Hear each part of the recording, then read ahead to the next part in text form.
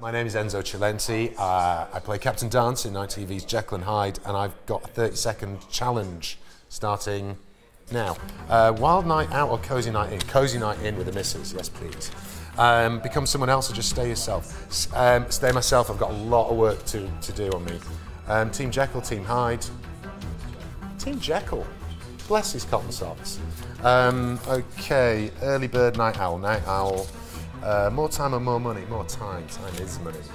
Um, team Bella or Team Lily? Who's in the room? Ah, Team Lily. Um, adventurous or cautious? Cautious. Time up. Good, because that would have been, I couldn't have answered that one. That's it. How did I do? Average.